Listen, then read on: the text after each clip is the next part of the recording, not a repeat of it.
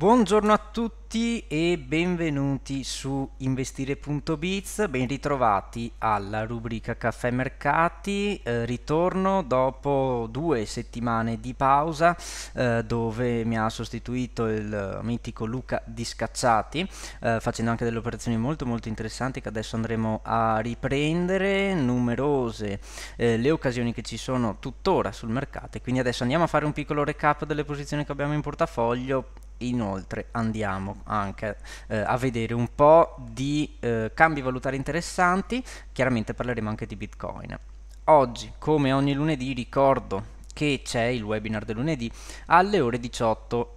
io ci sarò questa sera e anche Luca Discazzati. Quindi ricordo che è un evento gratuito e per iscriversi basta andare nella sezione appuntamenti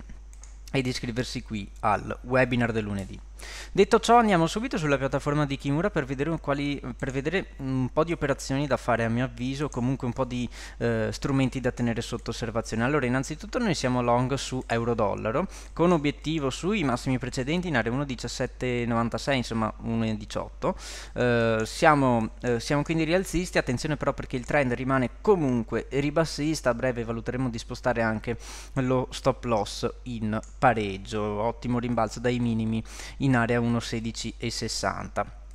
non apriamo per il momento operazioni al ribasso, però una volta arrivati a target in area 1.18, a mio avviso si può valutare un acquisto di dollari americani. Eh, detto ciò andiamo a vedere il gold, eh, so che ne avete già discusso molte volte, c'è stato questo eh, ribasso importantissimo che ha portato le quotazioni a segnare un minimo in area 1.600 dollari per oncia, però guardate la chiusura settimanale. Chiusura settimanale sui massimi, riprendendo tutto il movimento ribassista, eh, andiamo a vederla con precisione tramite il bits dettagli che troviamo in alto a destra, chiusura in area 1779,71, un segnale rialzista a mio avviso molto importante sul time frame eh, settimanale e da qui possiamo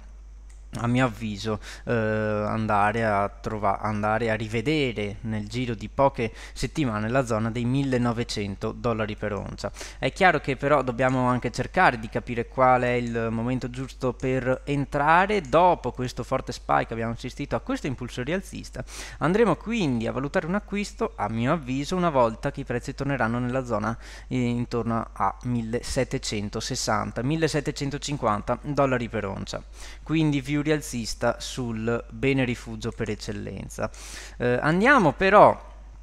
Ora eh, torniamo subito sui cambi, eh, sui cambi, valutari, euro-yen si sta apprezzando nella giornata di oggi, vedete l'euro è molto eh, è positivo in, eh, in apertura, eh, nella, dopo l'apertura dei mercati eh, europei, che cosa attendiamo? Attendiamo un ritorno in area 129,25 per valutare una nuova posizione al ribasso, ci possiamo mettere un alert qui o comunque andare a impostare anche un ordine pendente volendo con un uno stop loss intorno alla zona dei 129,75 andando quindi a sfruttare quello che è il trend eh, di più ampio respiro che come potete vedere eh, segna massimi e minimi via via decrescenti e quindi andiamo sul ritracciamento, sul rimbalzo a comprare yen giapponese e a vendere euro.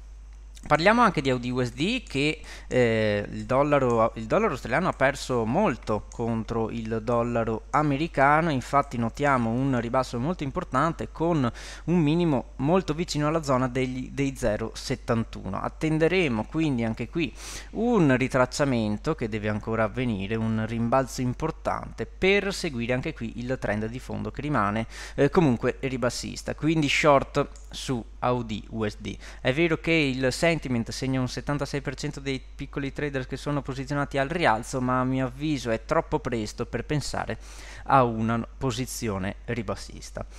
Più interessante invece risulta essere il USD CAD perché dopo aver raggiunto un massimo importantissimo anche oltre gli 1,29 è stato raggiunto un massimo in area 1,29,50 stiamo ritornando su dei livelli tecnici a mio avviso interessanti il trend rimane palesemente rialzista come potete vedere e a mio avviso gli obiettivi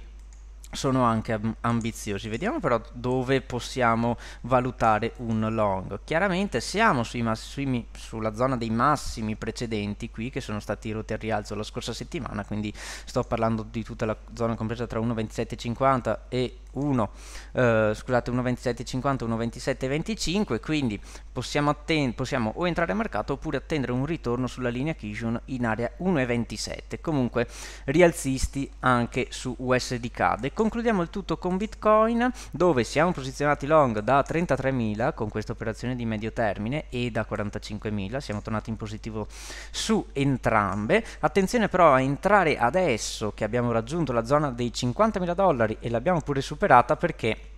non potrebbe essere eh, il momento sbagliato per entrare. Eh, non dobbiamo aver paura di rimanere fuori dal mercato, ma semplicemente andare a sfruttare che essere, eh, quelli che possono essere dei nuovi ribassi eh, per entrare long. Il livello chiave, a mio avviso, è quello dei 42.000 dollari. Magari a distante non, non arriveremo lì, però possiamo prendere in considerazione un primo long da 45.000 e un secondo long da 42.000.